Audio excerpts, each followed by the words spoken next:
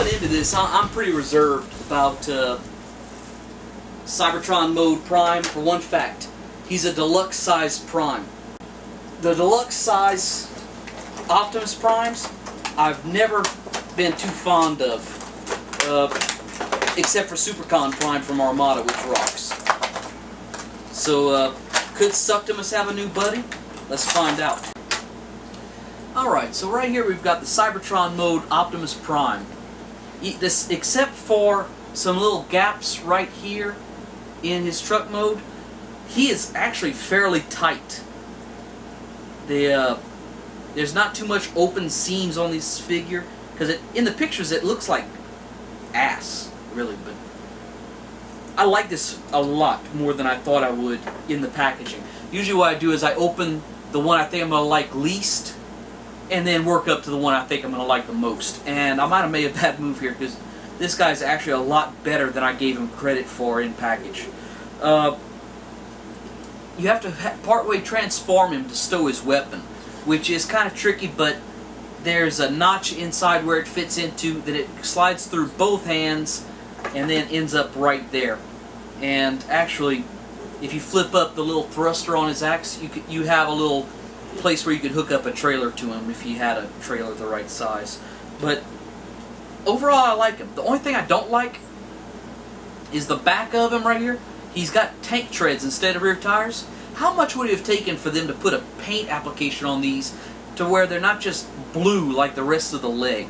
Uh, gonna lose a little bit on that. I'm gonna go ahead and give uh, truck mode's gonna get an eight actually, rather than my standard seven because it really does work a lot better than I thought it was gonna.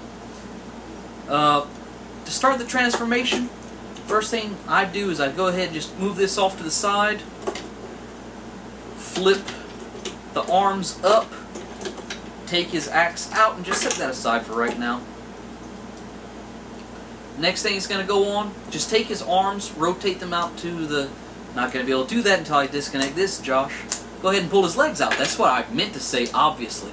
Uh, once you get that done, rotate these down. After you put these tabs out the side, this is only the second time I transformed this guy. So, excuse me, sorry.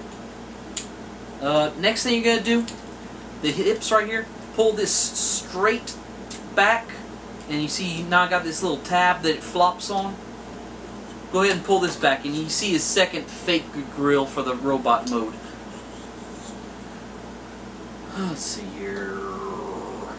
Next thing you're going to do, his uh, windshield right here is just going to rotate down, up, back a little bit.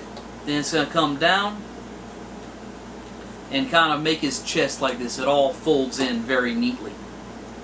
And this is the point where I decided I actually like this guy. Is, you see they have this gap in his grill?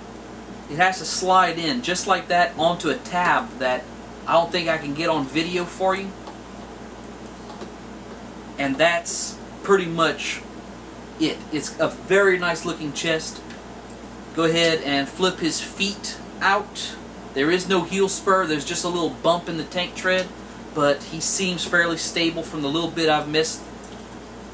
You don't turn around the waist, you just turn him around at the knee. Take the shoulders, rotate them down into the side, You've kind of got a uh, War Within Prime look with the tires inside his shoulders. Fold these tabs down like this to cover the tires up from the bottom. And flip his head back. Position the shoulders. And the only other thing you've got to do is his left hand right here. You can take and push that up to line it up with his other hand. Uh, part of his transformation, they end up right in front of the other, so you got to take and that just moves back and forth. Uh, let's see. These right here, just turn them, and this gray port on this this thing on his left arm, arm, turn that out to the side, and you can clip his shield back on He's got an enormously long handle on his axe. I mean, it's kind of goofy looking. So anyway, he's got like a broom handle on his axe. I don't remember who. I guess it was Sean because he's the only one I remember watching this guy be reviewed by. You can turn the axe handle around like that, and it's a little bit more proportionate. It just looks strange the way he's holding it if you look at it hard enough. But uh, anyway, I can't get over just how much I like the proportions on these figures because my one of my big criticisms, and I gotta apologize to everybody who I said that the animated line was gonna suck. Uh, this is a nice start. Uh, I still have three more figures to unbox and do reviews on, but uh, this is very promising for me. That a figure that I thought was gonna suck this hard is this nice. I mean, the posability is very good. Uh, because of having two joints in the elbow, you can get him into some very good poses. I mean, you can have him with his axe over his shoulder. Oh, let's get back to the axe while I'm thinking about it. His axe has three modes. You have like the standard uh, rocket axe, his rocket boosted axe that just like lay into stuff real bad, like that.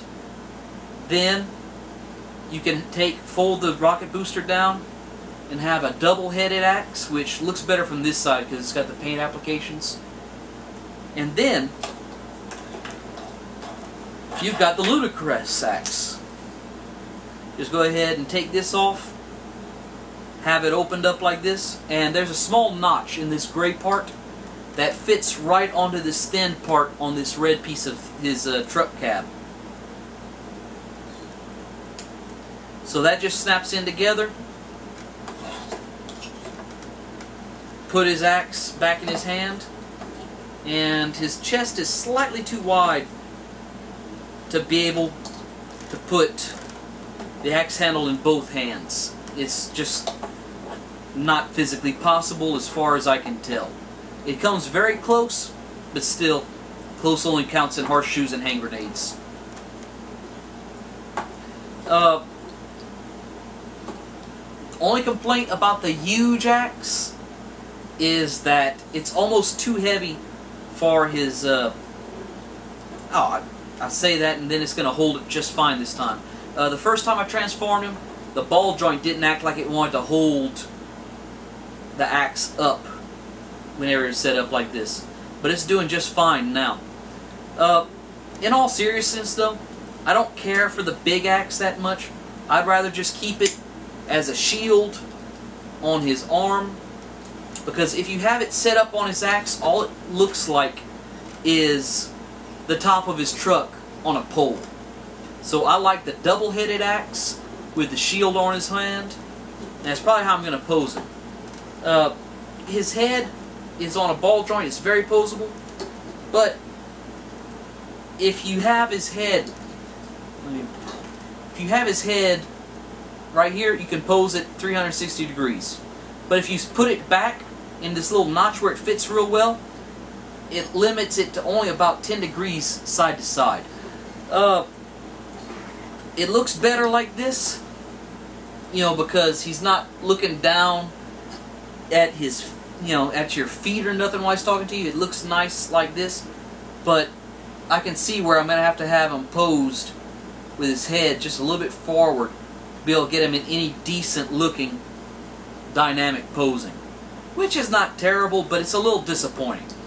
Uh, overall, the robot mode is going to get a 9. Alright. Well, uh, this is Josh, eating crow, and unfortunately loving it. Uh, you have a good day.